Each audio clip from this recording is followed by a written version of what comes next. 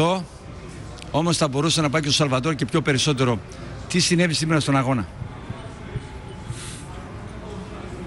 Τι να πω, δεν ε, υπάρχουν και πολλά λόγια αυτή τη στιγμή να πούμε. Ε, προσπαθήσαμε.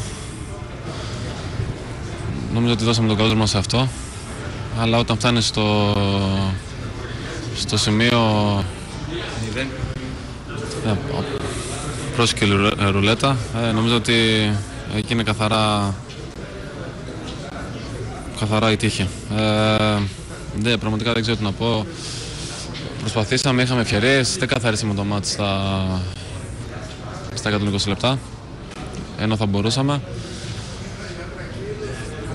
Δεν, δεν, Ε, υπάρχει περίπτωση το γεγονός ότι ήρθατε εδώ να περάσετε στην επόμενη φάση. Περάσατε. Υπάρχει περίπτωση μετά να αδειάσατε καθώς τοποθετήσατε νέο στόχο μέσα σε τέσσερις μέρες ή απλά έτσι έτυχε το μάτς; Κοίτα, ο στόχος μας ήταν να κερδίσουμε. Ε, προσπαθήσαμε, μα- ήμασταν πολύ άτυχοι στο, στον κόλ που δεχτήκαμε. Ε, νομίζω η Κωνσταντίνα στο δεύτερο μήχρονο έκανε, ε, ήταν το μοναδι- μοναδικό σου που έκανε.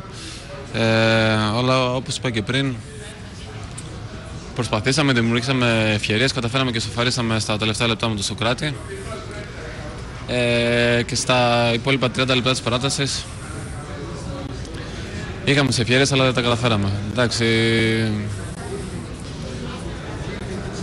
αγωνιστήκαμε σαν ομάδα, τα δώσαμε όλα σαν ομάδα και χάσαμε σαν ομάδα. Δεν ε, ρίχνουμε ευθύνη σε κανέναν.